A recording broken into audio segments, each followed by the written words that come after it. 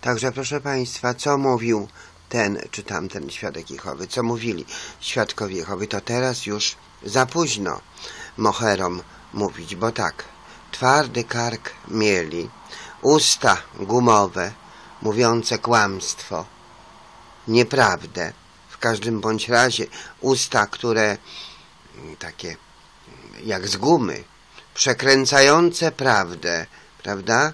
Nie chcące nigdy jakby tej prawdy poznać, to oni mogą tylko powspominać, co ten świadek Jehowy mówił, co ten świadek Jehowy, a to tamten mówił, co świadkowie mówili, bo świadków Jehowy już nie ma.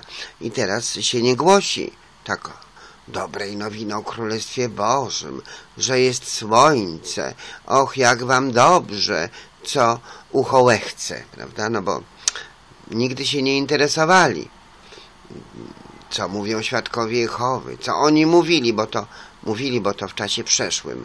Już teraz tutaj na Mazowszu nad Wisłą świadków Jehowy nie ma, są w Angloameryce. Białystok i tam z tej Angloameryki Białystok wychodzą na cały świat jak Noe z Arki. No i tak będzie.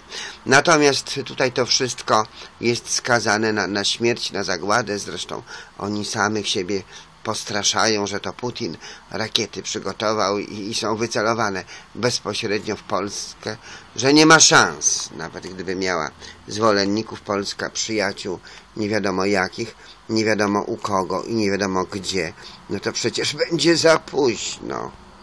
Śmierć w wielkim ucisku i Armagedonie.